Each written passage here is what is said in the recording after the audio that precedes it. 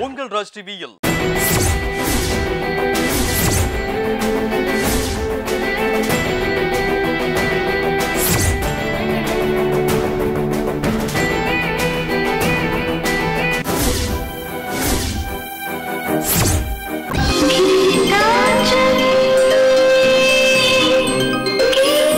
இன்று இரவு எட்டு ஒன்றுக்கு கீதாஞ்சலி காண தவறாதீர்கள். உங்கள் ராஜ் டிவியில்.